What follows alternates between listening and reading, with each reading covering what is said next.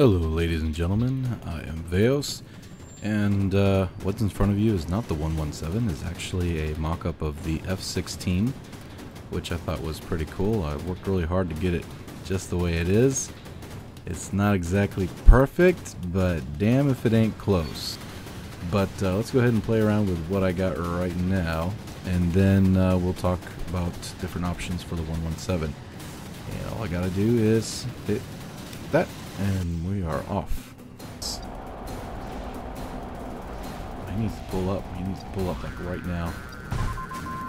Oh shit. Oh shit. Oh shit. oh. Oh my gosh. That was so close. What's he doing? Taking his time? Oh, there it goes. Fox 1. Fox 2. Oh, this doesn't look good. Doesn't look good. Oh, no, no. Oh my gosh, he missiled himself. You lucky, lucky dog. Man, how many missiles is he gonna throw at him? Son of a gun. I think he unloaded everything. Whoa, there goes one. Oh no, you have one more. Where were you hiding that? Oh. Oh, I'm gonna call that one Houdini. I didn't even see that missile. Did you guys see a missile? I didn't see a missile.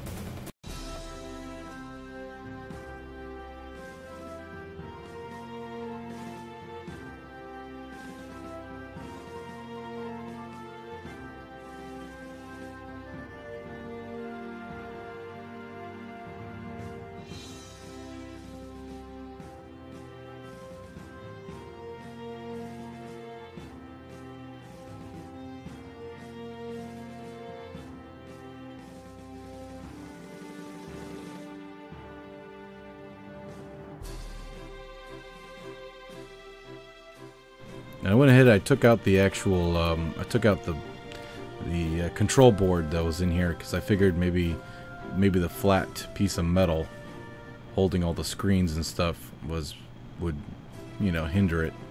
We're only at Mach 1, just barely Mach 1. Alright, I'm going to go ahead and hit the ejection system because some of you guys have said that having the air brake backwards, even if it's in its closed position, let's check. Yeah, so let's go ahead and jettison this part and see if it speeds us up a little bit. Three, two, one, spacebar. Get out of there. It's definitely a lot faster and we're still going. Son of a biscuit. You know what that means? That means that having a backwards... That means having a cockpit hatch that opens up backwards creates so much drag that it's actually hindering the the ability of the craft, which really sucks because I like having, you know, a cockpit that opens up the way it's supposed to open up. I guess it could open up forward, but see, that would mess me up because of the fact that in order for these to match up, to line up, they have to, one has to be one direction, one has to be the other direction. Let's try the second, the second idea, and that is to put everything inside of a um, fairing.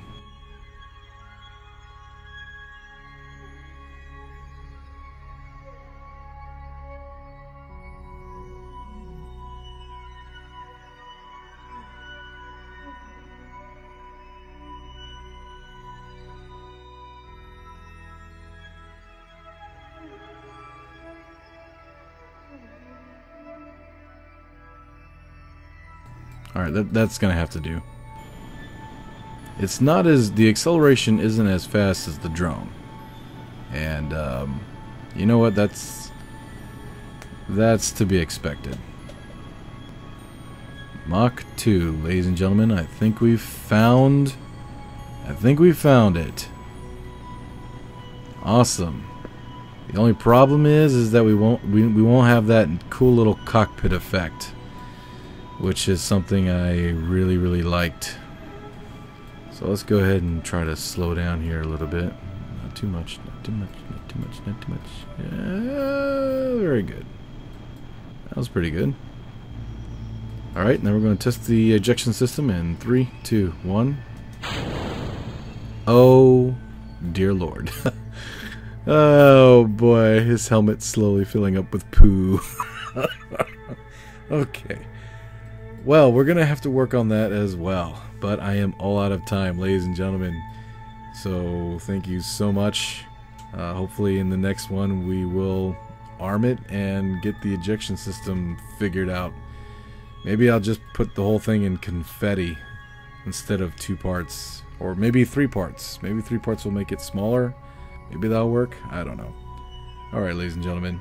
I will see you all in the next video. Thank you so much for watching.